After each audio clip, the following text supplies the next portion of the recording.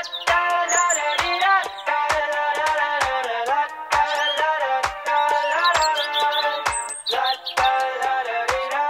got my head out this home, a place where I can go to take this off my shoulders.